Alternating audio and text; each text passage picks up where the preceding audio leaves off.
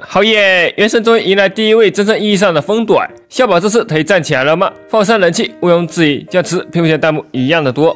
那我们把放山不歪，玩到端辅，大家都没上。放山四星风元素对应角色，是一位能够提升全队风元素伤害，并降低敌人风元素烫线的辅助型角色。优点：连命放山的辅助能力就几乎拉满了，与六命相比，之缺少风元素爆伤加成，辅助能力非常出众。不仅能提升全队风伤，还能减少敌人的风烫，一增一减，着实恐怖。缺点：冲压力较大，刀需要八点元素能量，且放上自身一技能一段完全不产球，所以冲能方面的压力会比较大。作为弓箭手，韧性较低，而想要使用一技能触发减风烫，就需要战场蓄力剑，很容易被敌人的东西打断，血压飙升。岁数大，耳朵不好。如所示，为放山升至八级六六天赋以及九级四四十天赋所需要材料，大家可以截图保存，顺便点赞。想快速收集赤焰朵的小伙伴，可以看我的赤焰朵全网最高效采集视频，最短时间最轻松收集到最多材料。普通击回声射速，进行四段连续的射击，造成受人伤害。普通贝利和冬子的前三段差不多，射箭姿势属实优雅，大家抽出来之后可以欣赏一下。重击可以发射倍率更高的风元素箭矢，造成风元素伤害。放山的普通没有什么作用，神中主要用到的还是大招和 E 技能。元素战绩飞翔风天。放山对前方造成一段风元素范围伤害，并获得疾风嗜血效果，可以将放山下一次蓄力剑转化为标裂剑，会对目标或者目标地点产生风压瘫陷效果，但效果会产生一个蜂窝，造成风元素伤害，并略微牵引一下附近的敌人。在解锁了天赋迅捷流风后，还可以降低敌人的风元素抗性。需要注意的是，这牵引效果和沙坦的意见差不多，都是扒拉一下敌人。元素爆发团风密道，放山的核心技能。放山释放大招后，会放出一个多方面体，并对周身造成一次风元素范围伤害，并释放烈风波。而且每次移动到路径的顶点时，都会产生一次烈风波，持续十二秒，冷却时间二十秒，需要元素能量八十点。而烈风波释放可以产生两种效果：一是怼风之祸，降低敌人风烫；二是奇风之刺，提升队友风伤。需要注意的是，减风的效果是固定的，不会随着大招等级的提升而提升。但是风伤加成可以，会随着大招等级的提升而提升。当前至多可以达到百分之三十八点二五。而大招只有释放的时候有伤害，后续的烈风波都是不会造成伤害的。这技能也是法山最核心的技能，基本所有辅助能力都是源于这个大招。队友天赋七突一致。处于大招起风姿势效果下的队友，对敌人造成一次风元素伤害时，会获得烈风附持效果。这效果会基于发号山的基础攻击力，提升此次攻击所造成的伤害。该效果在起风姿势效果结束或者生效一次后即会消失。这效果有点类似于深号的冰灵，不过它并不限制次数，但是触发剑德，而且增幅倍率较低，只有百分之三十二。队友天赋迅捷流风，发山处于疾风视线状态下时，也就是释放完一技能后。蓄力时间减少百分之六十，并且蓄力产生的风压摊线会减少敌人的风烫。对抗较为弱小的敌人时，即使不使用大招，风系队友也能获得不错的伤害提升。队友天赋天书药剂，在续命时间探索派遣任务时，获得的奖励增加百分之二十五。首先，法山的主要辅助能力就是他的大招，而 E 技能正像是用来辅助充能以及参与时配合风系收尾时使用。所以我带来的技能价推荐为元素爆发大于元素战绩大于普通。推荐点至一到六到九，有条件的大招可以点皇冠。大家不追求发山自身伤害的话，只点元素爆发吉特，普通的战绩可以先不点。一命释放 E 技能后，发山可以释放两次标裂剑，这命座可以提升发山的产出效率，但是也会占用一些战场时间。二命断命座，刀持续时间延长六秒，加上前面固定的十二秒，持续时间来到十八秒，在充能允许的情况下，实战基本可以做到全程附带。三命战绩提升三级，四命断命座，标裂剑命中后产生的风压瘫线效果。命中一名敌人可以为发护山回复两点能量，每额外命中一名敌人会额外回复零点五点，每次至多回复四点。也就是说，在敌人的数量为五名时，这效果可以达到最大值。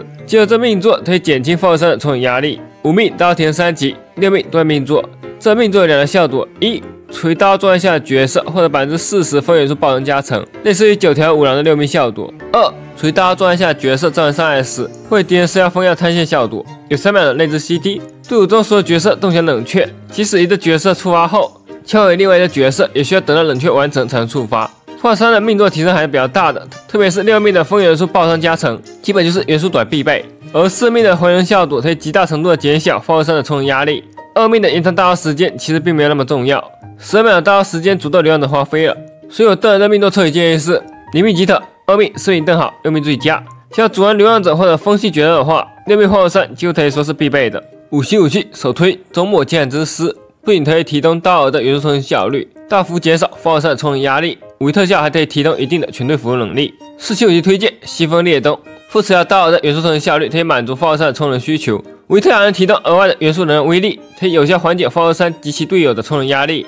现场白条即可获得，但是放射山首选武器。技动负责提供元素充能效率，维特可以提升放射山的产出效率。不过需要占用一定的战场时间。佩戴技动的灵命化物三，还可以获得一命化物三的体验。其他的武器效果就比较一般了，主要是因为化物三的充能实在是有些痛苦。废物推荐，首推二绝缘二流放，其次四风或者四中式也可以使用。二绝缘二流放，二者都可以提升元素充能效率，都可以提升化物三的循环体验。四中式作为大刀型辅助，四中式也是完美契合化物三，但是有一个前提，那就是要满足充能效率。四风套更适合化物三在多核队伍中使用，比如闪法来叶。主要推荐充能杀、暴击头或者东击头、攻击杯。如果化物三携带新风裂洞，那么携带暴击头的效果会比较好。副条推荐元素充能效率大于百分比攻击力，大于元素精通。具体的圣物才要选择，还是要根据真武器、真面板、圣物的副词条以及配套来决定。如果不懂的，欢迎在弹幕中评论提问，我会第一时间回复的。相信都会到游乐性放假的。炮山作为风系专短，当然的配对思路很简单，就两条路：一搭配流浪者组成闪发组合；二搭配消组成消化组合。两种玩法都很不错，接下来大家探一探这样种玩法的阵容搭配：一、闪发组合，流浪者放二三，莱伊拉、班伊特，莱拉骑手 E T 套盾多少兵，触发千年时间套效果。切放二三 E 续剑，送大号童子，刷一件铲球，并降低敌人的风烫，提升全队风伤。半天上场使用无想之一战后下场，既能触发中招效果，又能为队友提供回复以及冬季加成。最后流浪者登场，开启一技能后放到输出吉特，一技能要结束时送到收尾，接着开启下一轮循环。阵容中流浪者可以稳定吸收到火和冰两种元素，或者冬季力和暴击率的提升。需要注意的是，放上充能一定要堆上去。放山如果没有能量释放大招，则队友的输出都会低很多。如果你的斑野美痛，也可以换成夜兰，夜兰的线性伤害提升对于流浪者提升也是比较大的。二消化组合，消放山中里班野特，钟离长安 E 套盾减烫。拜特 E2 为队友提供增伤与回复，放山 E 蓄意剑减少敌人风烫的同时提供小范围锯断，随后释放大招提升全队风伤，再降低敌人风烫。最后消法战场 EE 禁妖诺，所有下冬季输出即特。不过建议大家除了消都佩戴西风系列武器，不然充能压力会比较大，特别是放山的充能。大家有什么觉得更好的配对，也可以在弹幕评论说说看。有其他问题，也可以在弹幕评论提问。我会第一时间回复的，相信都会到有回信，不假的。华山作为第一代真正意义上的风短，就好像现在的九条和五郎，主要是作为流浪者专短，对于笑来说提升也还行。如果后续推出新的风息，华山还是有就业机会的。毕竟这加风伤又减风伤的效果不是谁都有的。里面的华山就几乎可以追平秦的四命效果了。而常驻的四命是什么概念，不用我多说了吧。总体来说，目前的华山是抽流浪者必备的，对于消也有一定的帮助。未来有新风息的话，还可期的。关于放号上的抽取建议，我欢迎推荐抽的人群而不推荐抽的人群。首先是推荐抽的人群：一、超威党，为爱买单，永远不推。这么疼爱的百岁山，你不想拥有吗？二、想抽流浪者且资金充足的人，这些人可以奔着六命化号山去抽，六命化号山风息亲妈。三、已经生意乱杀的了。四、小宝真爱党，想要抽化号山来短小宝的。五、主玩风系，注重角色性价比，又注重角色低命强度的，不推荐抽的人群：一、不抽流浪者且没有消的；二、不喜欢风体系的，而且后续也不会入坑风体系的；三、萌新玩家。八十能量，啥时候能充满？还是那句话，不要为了四星角色下池子，只要玩得久，四星池好都会有。大家可以在评论区交流讨论一下对化物山的看法跟疑问。